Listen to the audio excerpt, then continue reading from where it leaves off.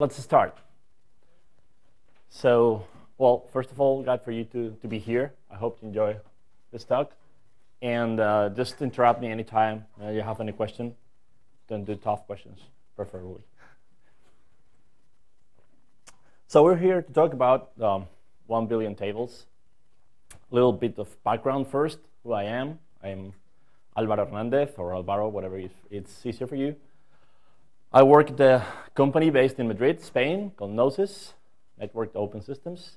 And we basically do consultancy and training in areas such as PostgreSQL, of course, a little bit of Java, sorry to say that, and, uh, and also architecture and development on top of cloud computing like uh, Amazon AWS. We're Enterprise DB partners. We do a lot of training, and well, there you have the coordinates if you want to, to get in touch with me.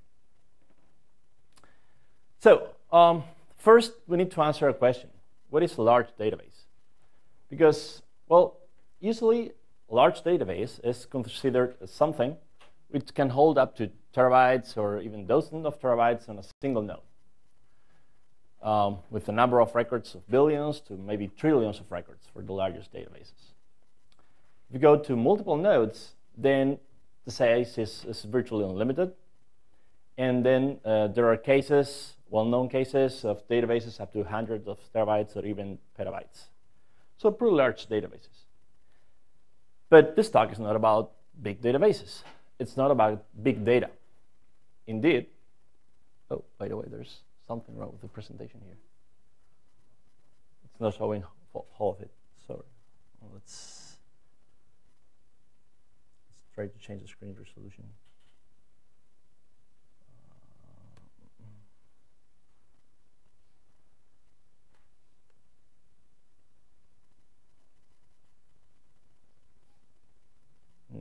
still going.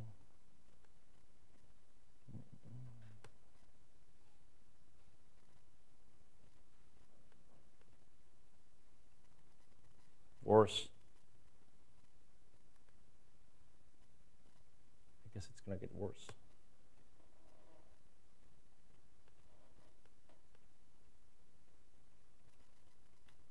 Hmm. Well. Okay.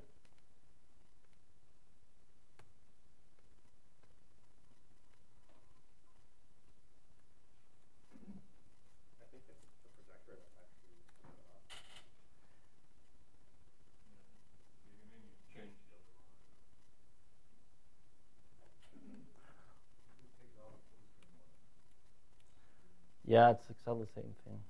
Well, let's keep going. Hope there's nothing really important on the right side. You know that will speak. So, um, I was saying that this talk is not about data, about big data. It's just about big, but in a different way. Indeed, I should say that we're talking about big metadata. And we're probably going to be showing the worst data to metadata relationship ever. Well, it's zero, but anyway. so, what types of, of databases? Yes, here's the problem. We don't see the numbers there. Well, doesn't matter. So, um, I've been researching the number of tables found in, in, in some databases. We have the what I call the schemaless like single table database, which some designers uh, try to exercise, which has one table. Well, so far so good. I have also found uh, one customer of mine that had an extremely denormalized enterprise CRM with just, with just two tables. Those are hard exercise. Really, it's tough. I can promise you. Then we have small databases with, I don't know, around 20 tables, medium, around 80 tables, large, around 200. Then we have extra large, what I call the ORMs going wild databases with, I don't know, thousands, 5,000 databases, uh, tables in the database. Multi-tenancy, uh, you can get a higher number if you're, multi if you're doing multi-tenancy, around 50,000, let's say. Massive multi-tenancy, around 1 million uh, tables. And if you go to BTP, the Billion Tables project, we're talking about a billion tables in the database. So you can see the number of tables for these different databases in a logarithm scale, just, just for you to show up the, the difference. So, uh, what are the limits of PostgreSQL we're talking about? There's a limit on the number of attributes on a given table, depending on the, on the type of the columns, it may vary. There's a, a limit also on the size of the attribute, and as a consequence of, of both of them, the, the first two, there's a limit on the size of a row. There's no limit in the number of rows per table. There's a limit on the table size of around 30, well, of 32 terabyte, and the number of tables in a data in, in a symbol database. It's unlimited, and also the maximum size of a database. We're going to be testing this. This is basically the purpose of the database.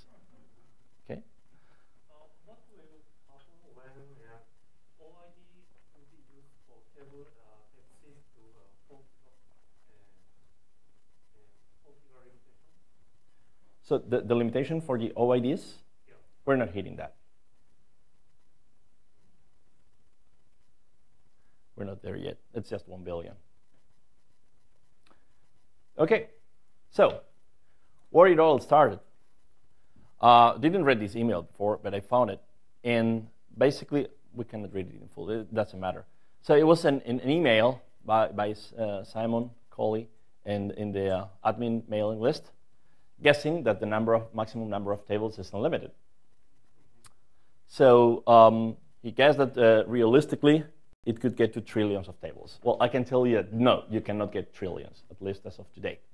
But let's see if we can get a little bit closer than that. And of course, the man sitting there, there was also responsible for this idea and published a blog post that inspired us to, to try to do this crazy thing of creating a billion tables in the database. So, why do this? First of all, to prove that PostgreSQL has no limits on the number of tables. It's a statement, but nobody has proved that. So let's try to prove it. To stress PostgreSQL in an unusual way. PostgreSQL is stressed in many different ways. It's probably not in this dimension. And, well, we had a spare server and wanted to test it before going to production. So let's, let's do it. Well, cannot read it, but these are the official reasons. Let's look at... Sure, sure, it does. Yeah, yeah, yeah I want to stress the, the disk subsystem of the, of, the, of the server. But this, uh, I was saying, these are the official reasons. But in reality, first of all, we wanted to beat Josh Berkus, created, creating tables faster than you. That's the main driver behind this, this talk. Of course, we want to say mine is bigger than yours, the database. And finally, because we can. Or so we thought. So, we need to change the definition. What's a TPS? Well, from Wikipedia, it says that transactions per second refers to the number, well, you know, actions performed per second. From now on, it's going to be tables per second.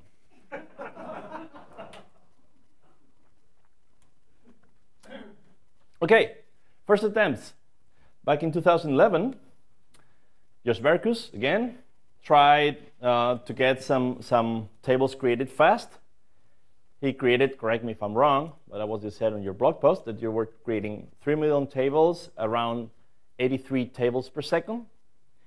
The server crashed because ran out of disk space.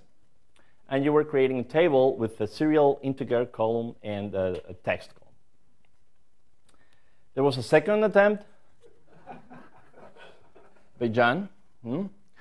Creating 4.6 million tables before the server crashed because of running out of inodes at around 1K TPS. Pretty good. And uh, uh, he dropped the, the sequence uh, just using an integer column and a text column. Um, after doing some math, uh, we, we, um, we found that it's, not possible. Uh, we need a lot of space to create these tables. We'll talk about that later. And so we dropped the text column. And uh, I did some initial attempts. And uh, I was able to do 10 million tables at 2K2 tables per second, stopping the, the run, and 100 million tables at around 1K5 tables per second. This is also posted as a comment on the post on, on Josh blog. So, well, it was, it was okay. Um, we exercised a little bit all the system, but, um, well, there were some problems. Oh, it's difficult to see these. Whatever. Well, the first problem is that we were running out of disk space. And to create all this metadata, you... Yeah. I know. so um, we ran out of disk space very soon. First of all, because tables are stored in PG class. Well, not the tables themselves, the, the, the structure of the table, the definition, uh, the name of the table. So, uh, well, we're inserting a billion rows in PG class, and that requires a storage. It was there, it's, there's a diagram there about the, the page structure. But, well, basically you'll know that there's uh, data items, and each table is going to be using one of them. So we needed a lot of storage there. But we also needed a lot of storage in the file system, because each, each table is going to be creating at least one file in the file system. And even though the file is empty, uh, there's a space required for the inodes, the name of the file, I mean, the file system metadata. And it's also large. So we need to find a large storage. So um, how to get to 100, uh, 100 million tables? We also need RAM. This is what happened on, on some test. We're running out of memory. And the out-of-memory uh, subsystem from the Linux kernel was killing the, the PSQL, uh, sorry, well, the, the, the script creating the tables. We also need a file system who handles well a large number of files. We found out that that's well was a good guess that Reiser file system is the only one who's able to cope with such a, lar large number of files in the file system. And we also need a good table creation strategy. The first test we were doing, we were, um, were uh, creating a, a, CSV file or SQL file pre-populated and, and feed it to PSQL that wasn't working quite well. We didn't even think about using anything uh, with a driver over TCP IP, just using local connections. That was not going to work, well, at least not fast enough. And so the final solution was to basically uh, launch a PSQL command and feed the create table statements via its standard input. So we create a program that writes the um, create statement statements and uh, dump them to the standard input of PSQL. That turned out to work quite well and, and quite fast. Of course, there's some work to do on, on PostgreSQL.conf. And of course, these are some settings not very recommended for all the users rather than creating tables fast. Like fsync off, synchronous commit off, full page writers off. We need a little bit of RAM for WAL buffers and auto vacuum. Yeah, auto vacuum. Talk about that later. Also, uh, depending on the number of tables you're, well, also that later, but uh, we were restarting the PSQL processes once in a while after a number of tables created, created. And depending on, on that number of statements we uh, sent to the PSQL command, uh, there was a different use of, of WAL records and uh, logs per transaction. We need to increase that. If you have some RAM free, uh, we had on the next server, uh, increase also shared buffers and increase checkpoint segments. That def that's definitely necessary to a large number. So this first test uh, done in 2011, we're done with, well, simple server, very easy to find, Intel Core i2 CPU with 4 gigabytes of RAM and three 1 terabyte disks. We specially bought for this. And uh, yeah, that's uh, approximately the storage requirements for doing this exercise. We're using the Reiser file system and PostgreSQL 9.0. The script, it's going to be hard to read from, the, from there, I guess. But it's more or less something like this. It was a Python script that basically uh, uh, decided uh, to do a number of iterations. For each iteration, it's, um, it's creating a number of SQL statements and restarting the PSQL process. And it's uh, spawning a new uh, PSQL uh, process, PSQL command, for issuing the create table statements, doing a checkpoint afterwards, and then logging a lot of information about disk usage, duration, memory, memory stats, and, and see uh, how long does it take. It's basically a very basic script. Not very proud of it, but it worked quite well. And so this is our more or less the results. Uh, in red, it's the TPS, remember, tables per second. And in blue, uh, it's the time in seconds. So to reach one mil 100 million tables, we needed around uh, 1,000, sorry, the time is in, in, minutes. So we needed around 1,000 minutes. And the tables per second started, uh, well, around uh, 2.5K. But the speed was, was uh, going down. And if we continue this trend, it will end up around 600 tables per second or something after three or 400 million tables. So this is not going to work to reach the billion tables unless you want to wait for a month. And as, as I was saying, disk usage is, is quite high. So we need 10 times this, 2.6 ter 2.6 terabytes. Apart from that, we found some other problems. Auto vacuum. But wasn't it turned off? Yeah, it's off. But no, it's a problem. And the reason is that auto vacuum is also kicking in independently of the setting. When? When it reaches auto vacuum freeze max age.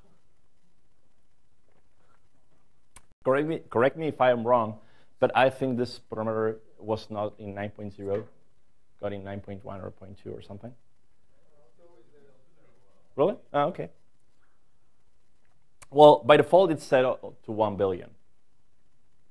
So it's quite risky to try to create 1 billion tables with, with this setting to 1 billion. So we have to raise it because we saw auto vacuum kicking in. Hmm? Okay, okay, okay. The, then that, that was the reason. Thank you. So yeah, it was kicking in the auto vacuum, and it basically made the, the whole process to stop because it's going to scan 200 300 million tables. Not fun. Not fun at all. So this was uh, a really bad enemy to fight, but easily uh, uh, easy to chase and, and to fix.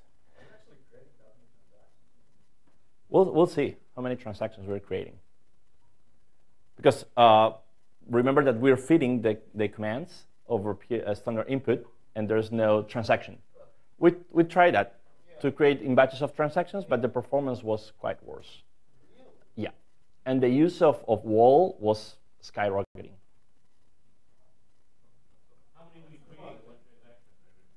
I tried creating batches of 10K and 100K, something like that. Maybe with small transactions would work. But so far, I found that the best performance was not using transactions at all, which seems contrary to the common belief, but it was that way. We're doing something uh, different. And the other enemy, it's not very related to PostgreSQL, but kicked in also and completed ring another test after, I don't know, four or five days. Update DB. Yeah. Who the hell enables that by default? the update DB? Well, the mlocate. Uh, yeah, the file system database. This is, you know scanning 200 million files, writing them on a, on a file-based database, not fun at all. So what else do we need to, to, to reach the 1 billion? Storage. Critical points here. First of all, separate base uh, from the tables here. This is very important because uh, the files created, let's say, in, in a table space, and the files for the catalog uh, follow a completely different profile here. There's one creating small files uh, with a, a, large number of files, while the other is just appending a lot of information to a table. So it's good to split them and set, and set separating conditions on them. So we created the table space, or more. We will see later that we created more, uh, in a Reiser file system. It's a partition that we name it uh, data. And for best performance was achieved using uh, uh having the base uh, partition, the base files, on an XFS file system, which we call big data, because it's where the, all the PG class stuff is going on. And finally, we put the WAL records on RAM. Who cares? Database is not, durable already, so, well, if the server doesn't crash during the table creation process, it's OK. And we call that x xlog. What else? We need a larger pizza. The first server was not enough, and we wanted to go fast. Fortunately, we could afford it. So we brought in a um, good CPU with 16 cores, 48 gigabytes of RAM, modern operating system uh, using Debian, Linux, and PostgreSQL 9.2.4. Fast machine, just takes six seconds to compile PostgreSQL source code. Pretty cool. No SSL. And we set up a nice storage subsystem. Basically, uh, data, the uh, Reiser file system partition, was running a local storage with a 100 gigabyte cache memory controller uh, for the disk, uh, running RAID 10. The Xlog, we set up 90 gigabytes. Uh, during some tests, we used up to half of it uh, using the, the maximum available amount of uh, RAM and also using a swap file system as a, well, swap as a, as a backup just in case the Xlog uh, filled in because we had a lot of server crashes because of that. And the big data partition uh, was on a ATA over Ethernet server um, using a 10 gigabit Ethernet channel, so pretty fast network for the storage, with around 6 terabyte on, with disks on, on RAID 0, software RAID 0. Oh, pretty cool setup for, this, for the storage. Then, the table spaces. Except for Reiser file system, every other file system suffered a lot with a large number of files. Even Reiser degrades after several millions of files. So the only obvious reason, reasonable way, and I think it's not tricking the, the original statement of creating 1 billion tables, because after all, they are in the same database. So uh, we were uh, creating uh, table spaces, uh, even though they are in the same partition, with using the same Reiser file system. And um, for the 1 billion run, uh, we well chose a number, it's, it's okay, which is one, uh, 1,000 table spaces. So each table space will be holding just 1 million files, just 1 million files. So it's, it's performs quite pretty well. We also designed our script to more or less be rotating uh, uh, during the uh, table spaces, so that very likely no process will be hitting the same table space at the same time. That's not guaranteed, but kind of works. What else? Concurrency. It is, of course, not feasible, well, unless you want to wait for a long time, to use a single process. So we need to go concurrent. We went to this conclusion because table creation is not this limited. Indeed, if, if we look at the average disk throughput, we're doing less than 5 megabytes per second on the 100 million tables test. So disk is not a problem. Well, storage is, but not disk speed. So who's limiting us? Well, our guess is that we have two limits. First one is CPU speed. When we're running this on a single process, the, the CPU is running at 100% speed. So it's creating tables as fast as the CPU can, processing the statements and, and, and everything. Uh, we couldn't create prepared statements because the statements are dynamic, and, and so it needs parsing. and well, that's it, not preparing. But uh, we couldn't do that, so CPU is, is intensive. Uh, faster CPUs were doing more tables per second. But especially, there's, there's some contention. When we use more processes, we can create tables faster, but CPU usage drops a little bit. We'll, we'll see that later. but anyway, the, the way to get faster, if we cannot get a faster CPU, is to use more cores, more CPUs, and, and do more tasks in, in parallel. So we launched uh, several processes in background, and the sweet spot seemed to be 16 processes, which is not surprising because this machine had 16 true cores. We also tested with 32, and it was uh, performance was slower. It was working, performance was slower, which means that CPUs are used more or less quite well by PostgreSQL. Well, now we have another problem, which is in the first uh, exercise we're doing, each process was logging uh, the number of tables created and some information about disk storage and the free memory and everything. But if we run several processes, well, things get tougher. Because we cannot have every process to log independently. How are we going to merge and consolidate all that information? So um, basically, we chose to run another process to log the data. So in order to make this work, the logger process has uh, receives as argument the PID of every uh, worker process. And when the logger wants to log the data, it basically sends a USR1 signal to the worker processes, which are listening to. And these worker processes, uh, sorry, and the, and the logger, after sending the signal, is going to start reading from a, from a FIFO, from a FIFO from the file system, named after the PID of the worker process, where the worker process is going to print the number of tables, plus some information about the state, uh, its current state, basically whether it finished or not. So this is a way we can log the data uh, on a consolidated uh, fashion. So how is the source code? Well, the worker is a Python script derived from the original one that I saw earlier. It divides the number of tables assigned to the worker in iterations. For each iteration, it spawns a new uh, PSQL process and starts feeding the create table table space uh, statements via standard input. When it, uh, it traps the, the SIG USR1 signal and writes the number of tables to the FIFO. And when it sent the SIG term signal, it exits. Doesn't exit when the task ends because the logger process may still want to read the, the table information, the log information. So it's going to be the, the logger process who, who um, sends the signal to terminate to the worker processes. And well, the, the iterations, the spawning the, of the PSQL processes, they also run on their own thread. We launch another thread there because the uh, uh, signals, uh, want, we wanted the signals to run on the main thread, thread, not to interrupt the I.O. of the process, of the Python process.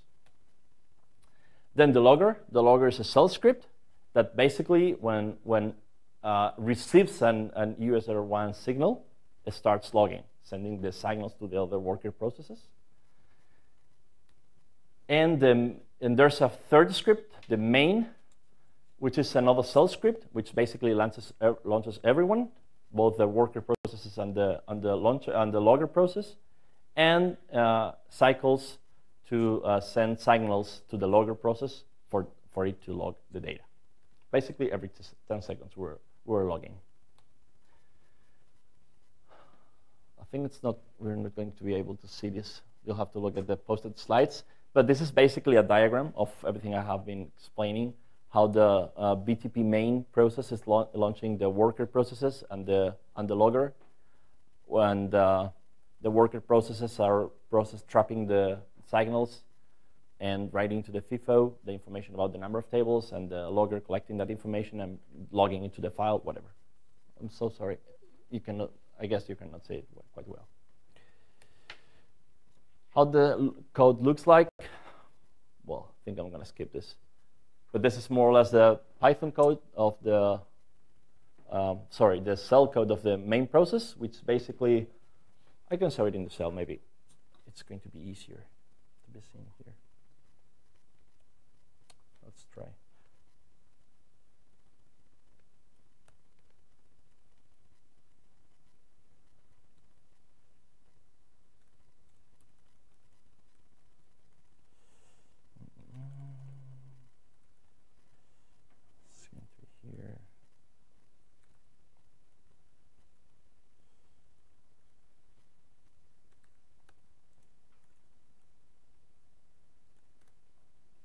Better? Yeah, okay. So, well, I don't want to get into the details of the, of the process, but the main, just, just to show the main idea here is that, uh, first of all, uh, we iterate over the number of processes.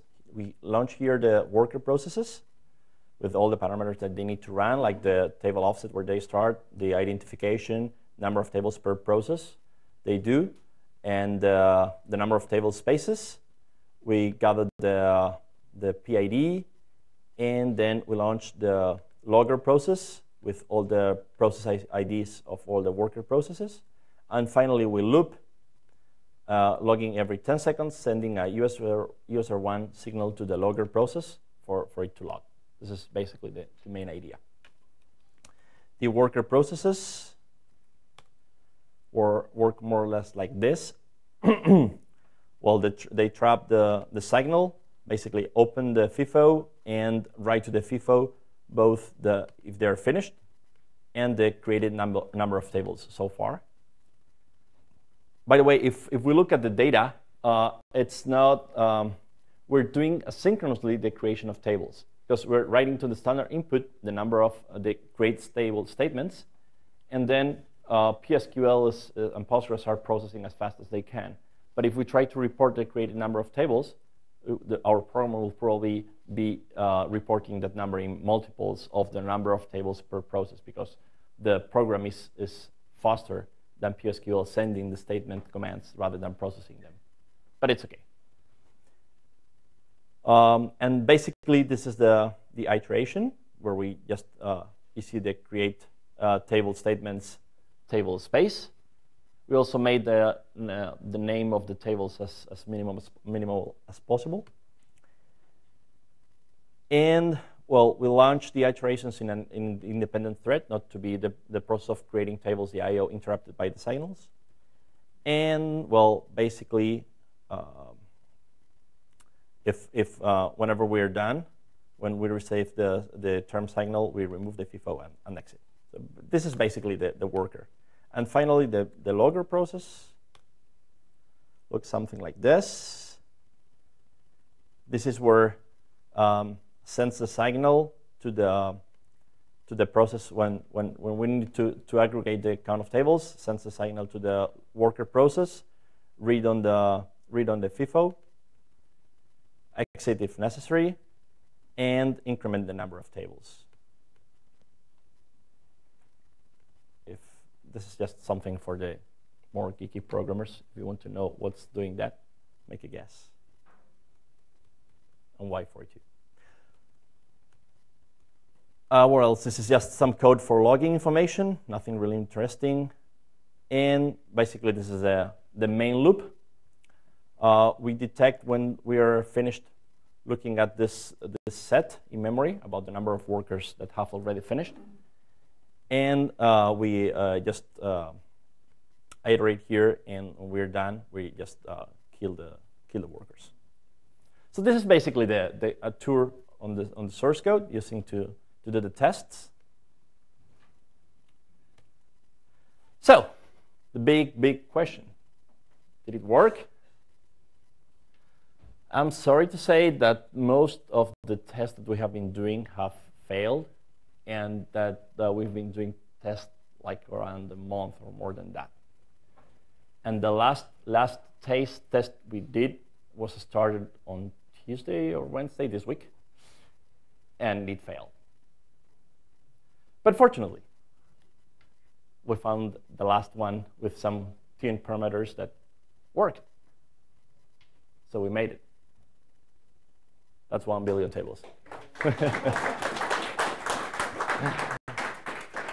Thank you.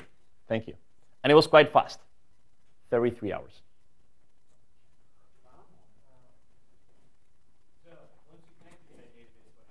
Sorry?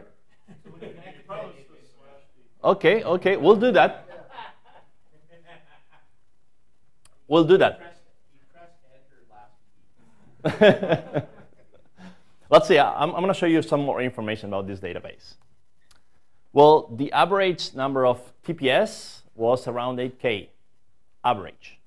So it's pretty good. 8K tables per second. It's so funny.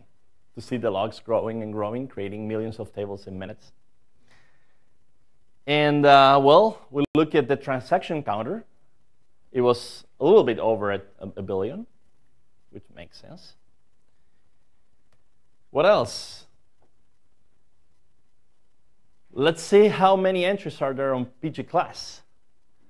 The expected number was 1,288, and it took a little bit more than two hours to make this query. but it worked. This is the file system usage. The base directory used 2.6 terabytes, so PG class, 2.6 terabytes of very useful meta information. Yeah, yeah, sure. Sorry. And uh, depends. You're going to see depends. Amazing depends. Um, the uh, WAL files were already, uh, they hit a top on around six, uh, six gigabytes. And the Reiser file system with a lot of empty files used 97 gigabytes. Again, useful meta information. Here we just grabbed some statistics about the, the I.O. operations. And here we can see that Depend was using a lot of, of, of uh, I.O. Uh, work on the database. I don't know exactly why, but uh, it's, it's quite fun. And of course, we tried to use the database. And it worked quite well. I don't know.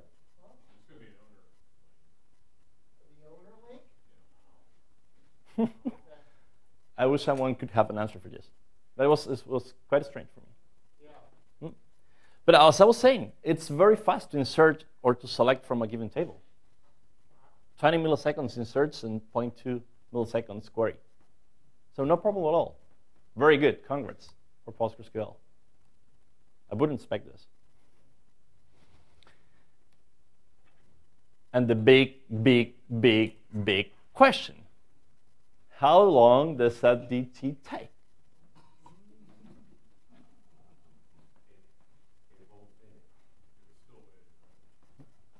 Right, basically. this is the approximation.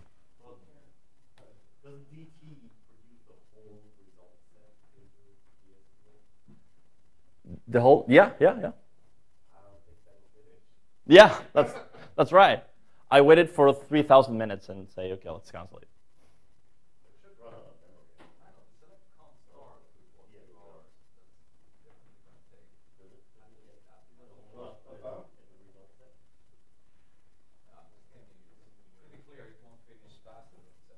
Right. Of course not.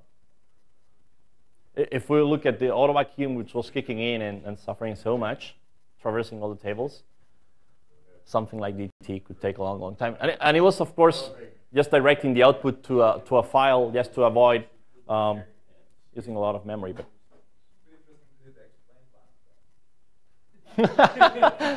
we could try We could try Well, if we look at the performance of this running test for creating the billion tables, it was pretty good. The, the table creation speed, the TPS, was dropping just very slightly it topped at 10K per second and just uh, moved around a little bit over uh, 8, 8K. The memory usage, it's not very easy to see, but basically all, all the, the, green, the green line is cache, and the, the red one and blue ones are buffers and mem-free. What I was talking about earlier about the concurrency, is that with 16 processes, the average CPU, CPU load of the system is 11.7, and the average load for the aggregated backend processes aggregated all across the test is 57%. But it's still quite good, in my opinion. Because there's, there's some, um, as I was saying, they're uh, contending, uh, there are, I mean, there are logs, there are um, non-concurrent regions in the whole process. And it's still doing a great job, in my opinion. So it's pretty good, pretty good results, I guess.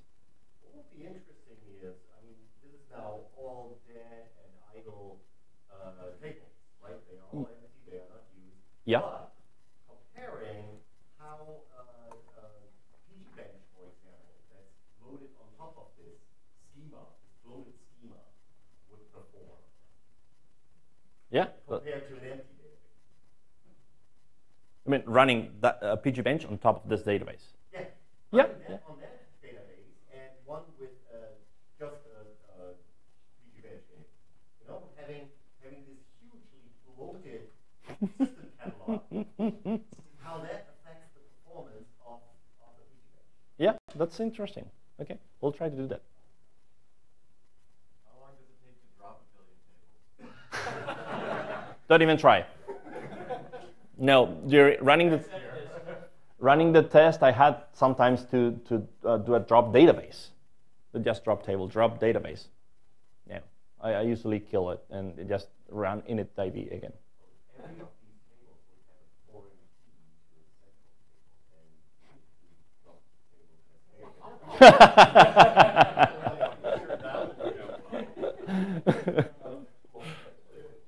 but yeah, basically the, the, the way to restart the test was was not doing uh, as I was saying a drop DB, but just initting the cluster again. There's no other way around.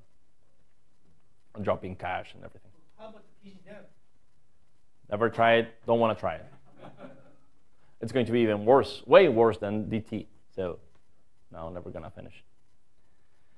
Finally, finally, once we have created this fantastic database with this fantastic data, we don't want to lose it. So let's make the database durable again. So stop the server, move pglog to disk. It was in RAM, remember? Tune postgresql.conf, fsync on, synchronous commit on, full pages write on. Yeah, don't turn on AutoVacuum. Don't even dare. I'm sorry about that. Do a manual vacuum on whatever tables you're using. I guess there are not going to be 1 billion tables. So do it manually and restart your server and enjoy that database. So, some acknowledgements to finish to you. Well, Josh Berkus and, and Selena and Jan, who happen to be responsible for this. And Alvaro Herrera. Oh, okay. Good to know. I'll fix that on the slides. Thank you. So for, for this, this idea, it was quite inspiring for us. Also, big, big, big thanks to Jose Luis Tallon, who worked with me and bring, uh, he brought the server. Uh, we were on, and he configured the server and the storage subsystem, and he has been co-authoring, co-working, co-architecting, co-programming, and definitely co-enjoying this and of course to the PGCon organization and the sponsors. And one final thing.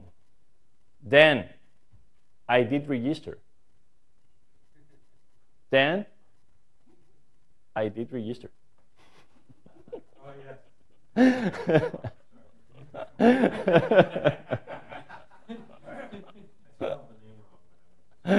I'm just kidding. So that's it. Thank you. I actually had a customer who was trying to design a database that would have had, I think they went through it, would have had over a million tables. Um, it's kind of like partitioning scheme gone crazy. you.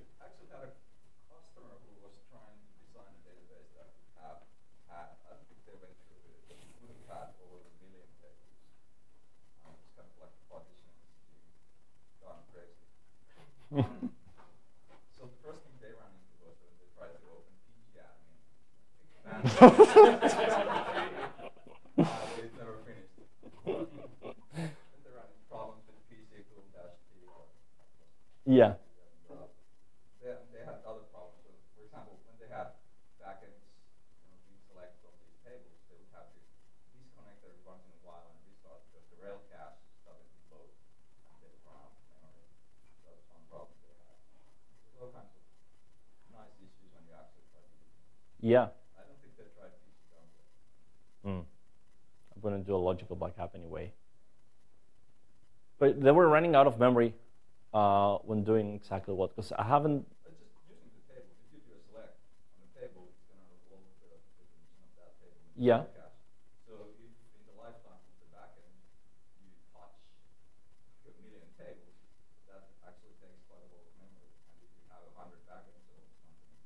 cache. But then only if the query is touching a lot of tables. It doesn't have to be a single. Uh, you can run one query against one table, another against another. Oh, okay, okay. You keep the database connection open for days. Mm-hmm. Yeah. Touching different tables, tables with accumulating rel cache. Yeah, it could be. Uh, it's interesting. Uh, I have heard of some some stories about uh, databases approaching the million tables, usually in, on multi-tenancy environments, and, and well, it's there. Are, there may be some work involved to make things like DT. Well, I don't say pgadmin, but at least some some procedures to work better with a large number of tables. I think it's it's an interesting field. It was, yeah, I think it was an interesting case because like a million tables is almost doable, but you know, not, Mm-hmm. it's almost possible. Um, and there are some non-technical concerns with the ReiserFS uh, long-term maintenance. Right? yeah. Yeah, what would be interesting is to try this on Butter FS and turn on compression. That would reduce the disk requirement. I don't, I don't know if it compress the metadata, probably not. There's an inode issue. One of the unique things about Riser FS was it doesn't assign inodes per se. That's, that's part of, that's part of what, uh, that's presumably one of the reasons why that was one of the only ones that worked. Yeah, yeah. It, it's because you mean that the storing information uh, within the directory table. Yeah. Yeah, and and I guess that's also a huge save in space, disk space. I, I had the amusement, I, I, I had, the DBAs called me a, a couple months ago. They were retiring one of our old AIX servers and asked me, what is a database that's entitled Million Table Arch? This is back when, uh, back at the time that Josh and, uh, Josh and crew were brought up the idea. I ran, I ran it on that, s- on that server and it, it had no, it had no problem creating a million tables.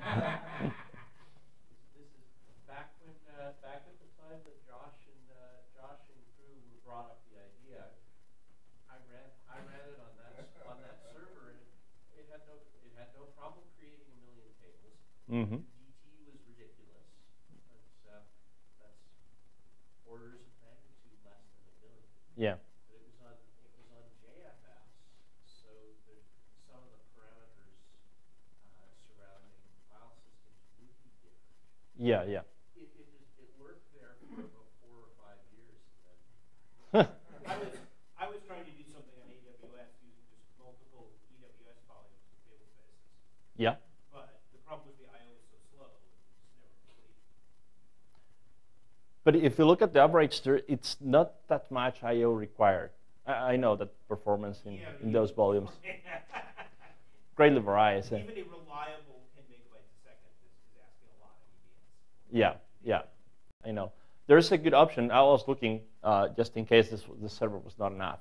I was looking at some options in AWS, and there's a, a two machines that fit quite well to for this scenario. One is there's there's one machine who has which has uh, 24 disks of two terabytes each.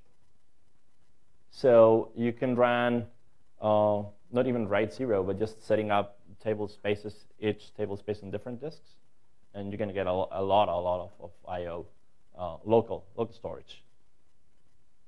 Uh, it's the most expensive machine they have, but When I go to LinuxCon, I'll turn this over to all the people with competing clustered file systems and see which one of them can do the best. but but I'll do the test with just one million tables or ten. Well, uh, Andrew Dunstan had a nice talk yesterday. Maybe we just need a new storage manager, just like old storage manager.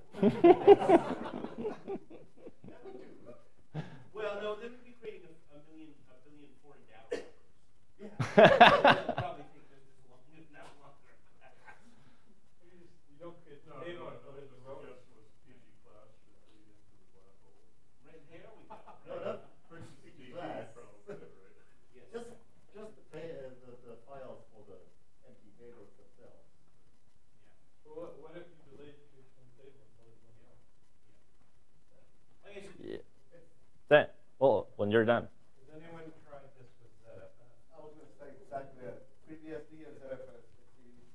haven't tried.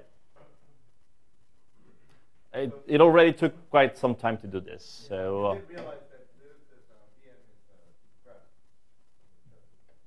well. okay, that's a different discussion.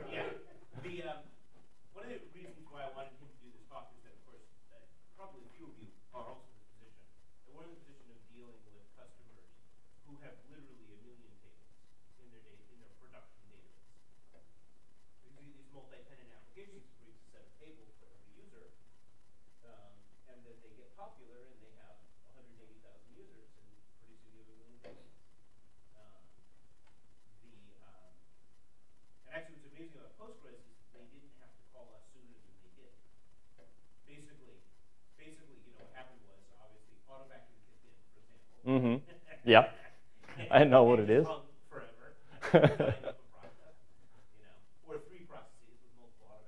yeah, yeah, that's what happens. And they start competing with each other.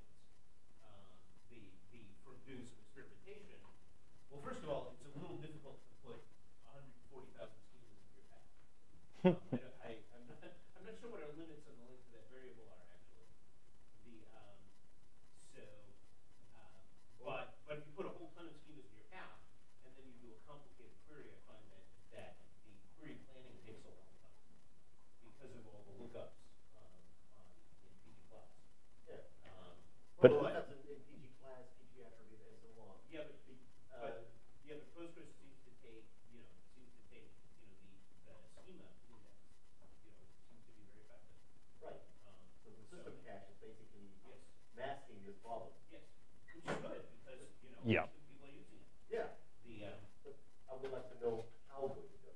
Yeah. And well, just just look anyway at the. I, I can tell for PGBench. I haven't tried it, but uh, remember the insert and, and, selection time on on the table in this billion tables database. It was going fast. Right. But then it's So that's an insert, right? Is the insert only slightly delayed because there's only one lookup? Yeah. yeah.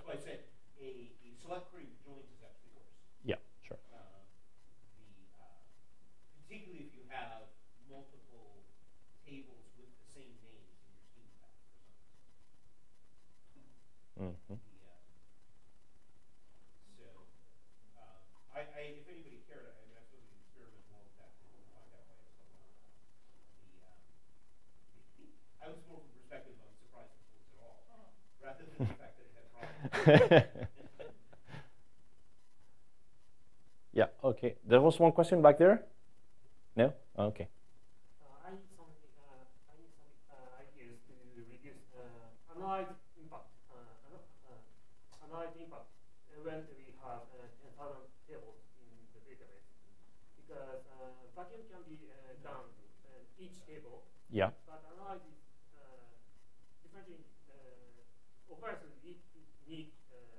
by game. Or, uh, but you can also run analyze on, on, on a single changes. table.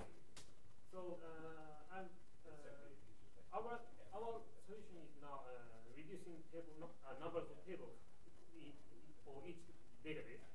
But I need more some technical ideas to reduce analyze performance. But how are you running analyze? Are you manually doing the analyze, or are you just letting AutoVacuum do the analyze for you? First, we uh, run uh, analyze by AutoVacuum, but Yeah. it's not uh, right way. So we are now uh, run by our hand or screen. But uh, If- I guess that if you're running analyze manually on, on tables, on selected tables at selected interval of times, I guess then the, then the number of tables is not really going to affect your performance, rather than the analyze process itself. So maybe if that's the case, it would be even better to have more tables, but doing partitioning on the table. And the analyze times in those partitions would be probably faster. It's just a guess. but we, at first, first of uh, all, we can uh, we need scan PG class, of course. Well, yeah, but um, 10,000 tables is not a big deal. You can tell it's not a big deal. so I guess uh, not the number of tables is going to be the problem there, rather than the, the analyze itself. It has to, sc- to scan the table. And if you need to do that, uh, maybe you could, as I was saying, partition the table. So, it's breaking auto vacuum quite a number of things. collectively split it, focus, Yeah, it has, it has to decide what to do next, and do it collectively and order of these sources.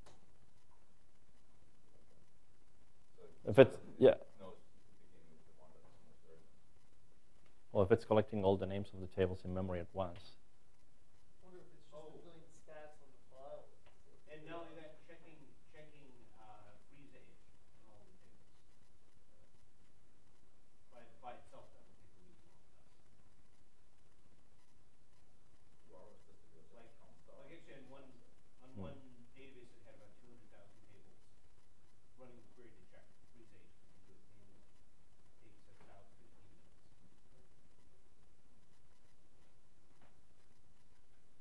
I, I was surprised. be careful about like talking you know tables of server and the problem is it's like multi-tenant uh, application and sometimes tenants stuff tenants data start to grow very rapidly. So what you want to do, you want to basically assign some hardware resources particular to this specific tenant, like uh, assign more RAM to it or more disk space. And um, I haven't seen any tools allowing to maybe like what the tools is very good. Do you, do you know anything about this or so? well, what about um, horizontal partitioning? Um, I mean, horizontal partitioning, going to a different database. uh, yeah. Because if it's a multi-tenant application, right? multi-tenant, but like how fast it will work. I mean, uh, you can migrate this tenant to another server, right? But probably won't do it like very fast, very fast. Well, I mean, if you want to assign different resources to different databases or different schemas within within databases, there are a few choices for you to do. Like, well, you could use different table spaces with different performance disk. Um, you can limit the uh, variables uh, memory, like work mem for queries. Um, there are a couple of things you can do, but uh, if you really want to separate resources, you're going to need different clusters.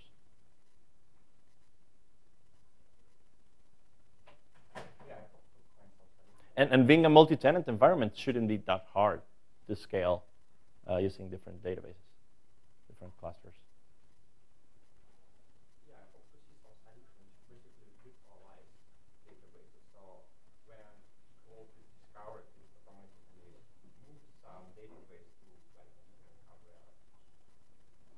Mm -hmm.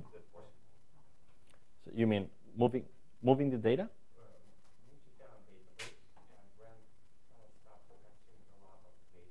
Yeah.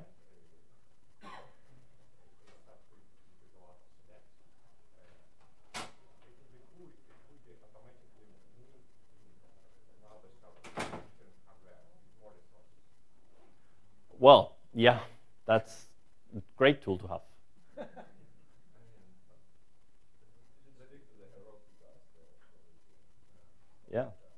Maybe. But yeah, sounds very nice. But I guess there's, I don't know it. I don't know if there's any any tool like that. Yeah, maybe a big player using PostgreSQL has, something like that. But we don't, as far as I know. Okay, need, we need to uh, wrap up or finish. Are we in time? Well, supposedly, I mean, already been for one hour. So, well, thank you very much. I'll be uploading the slides and also posting the source code to a repository. Thank you.